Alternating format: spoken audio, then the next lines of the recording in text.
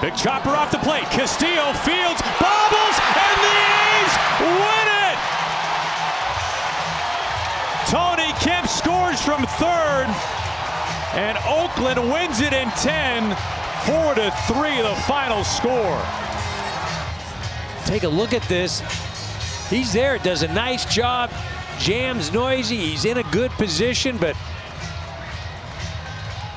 tries to make it happen too fast, and it doesn't happen at all. A's win.